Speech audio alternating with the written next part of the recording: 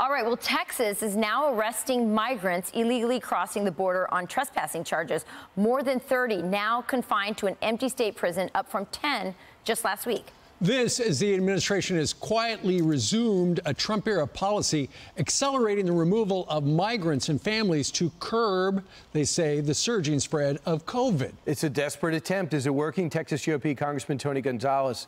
Uh, Congressman, how much worse has this gotten, and how much better has Operation Lone Star been for people in your community? Yeah, things are as bad as they've ever been. Uh, it hasn't gotten better. It, it's only gotten worse. And and sadly, Texans feel as if we're alone, and we, we see it. You know, uh, we're doing everything we possibly can to uh, fight against this immigration crisis, but the big guy is AWOL.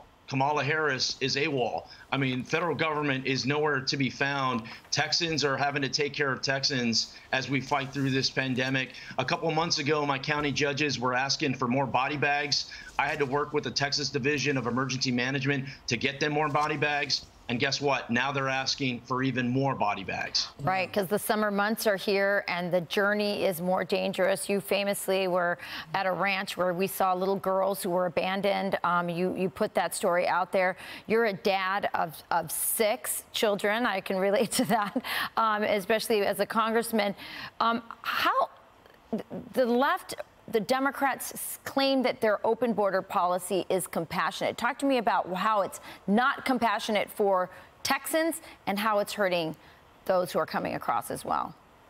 Yeah, their open border rhetoric that is turned into open border policy is dangerous. It's and it's killing people. It's killing migrants. It's creating this chaos. You're seeing a a, a spike in COVID cases. Uh, I'm getting I'm getting told on the ground in these detention facilities that the numbers are reaching upper to 20 percent. Wow. So it's not it's absolutely out of control, and they're they're going about it the wrong way. You know, you you've got 1.1 million illegal immigrants that have come through and they're encouraging even more. This administration should focus on legal immigration reform. Instead, they're creating this chaos, and sadly, migrants are dying horrible deaths. Imagine running out of water in the middle of a desert. Imagine yeah. being stuck in a U-Haul. I mean, it's absolutely uh, uh, despicable what's happening. Sure, and at the same time, the government, because the, this administration has given ICE new marching orders, where if you want to arrest somebody, you got to call the front office.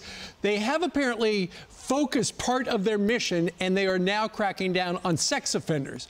And since the month of June, which was just last month, they've already arrested and are in the process of deporting 300 sex offenders. Congressman, this at the same time, uh, Joe Biden's administration is spending $2 billion to simply stop building the wall, which obviously a lot of people would say we really need.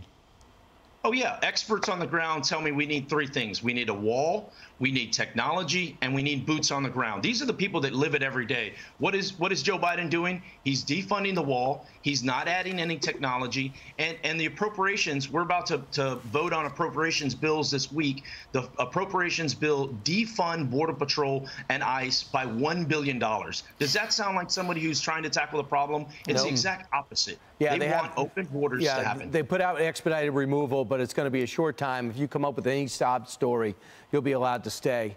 Kamala Harris nowhere to be found. And of course, $2 billion is being spent to settle deals with contractors uh, on the fence, on the wall, to either destroy it or store it. And that's on taxpayers' expense. We're paying not to have a barrier. Incredible. Congressman, thanks so much. Thank, Thank you, you, Congressman. Hi, everyone. I'm Brian Kilmeade. I want you to do me a favor. I want you to click to subscribe to the Fox News YouTube page. This is the only way that I know for sure that you're not going to miss any great commentary, any great news bites, any great interviews coming your way on Fox. You can get it all here on YouTube. So subscribe right now.